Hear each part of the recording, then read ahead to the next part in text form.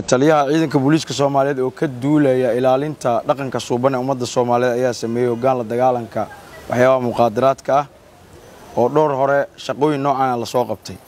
Maantay oo ay taariikhda tahay lix iyo labaatanka diseembar labada kun kow iyo labaatanka waxaa garoonka diyaaradaha aadan cadde international airport lagu qabtay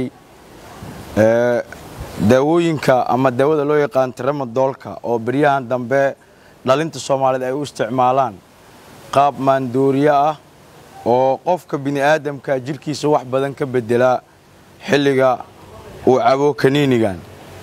Kaniinigan waxaa horay loogu baaqay in laga joojiyo goobaha gaarka ah ee lagu gado oo ay ahayd in isbitaallada iyo cidda ku shaqada leh ee kontaroolaysa ay gacanta ku hayso. Balse ciidanka airbortka oo aad u foojigan kana warhaya waxyaabaha daraagiska ee ka gudba xuduudaha dalka.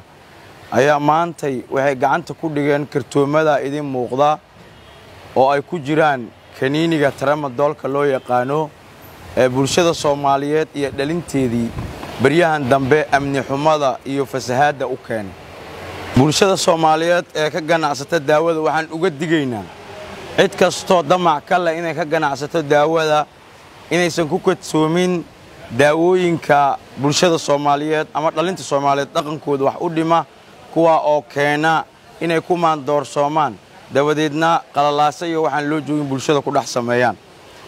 Goob kasta oo daawo lagu iibiyana waxaan uga digaynaa inay isticmaalin daawooyinka aan loogu talagelin shakhsiga bini'aadamka in la siiyo walow xilliyada qaar xaalad caafimaad keliya loo isticmaali karo waxaana xaq u leh inay u isticmaalaan isbitaallada waaweyn ee yaqaana garaamaatiga qofka ka isticmaalaya.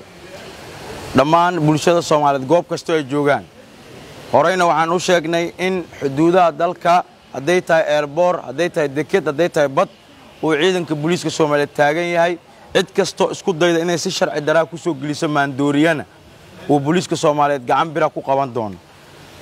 Taliska airbortka booliiska soomaaliyeed oo fahamsan muhiimadda ay leedahay in la ilaaliyo dhaqanka dhalinta soomaaliyeed. Wuxuu ku guulaystay inuu gacanta ku soo dhigo intaas kartoon oo maantay haddii ay magaalada geli lahayd bulshada soomaaliyeed caafimaad ahaan dhaqan ahaan iyo amni ahaanba wax badan u dhimi lahayd. Haddaba bulshada soomaaliyeed waxaan ugu baaqaynaa goob kastoo ay joogaan inay booliiska soomaaliyeed gacan ka siiyaan la dagaalanka waxyaabaha maandooriyaha ah taa oo sababa in muwaadin soomaaliyeed bilaa shuruud uu u dhinto bilaa xaq uu u dhinto oo ay iska dilaan dadka caba maandooriyaasha. U doono soomaali sudanes hosbitaal daryeel daweyn iyo dhakhaatiirtii khibradda lahayd ee dibadda loo aadi jiray. Bartilmaameedka soomaali sudanes waa badqabka bulshadeenna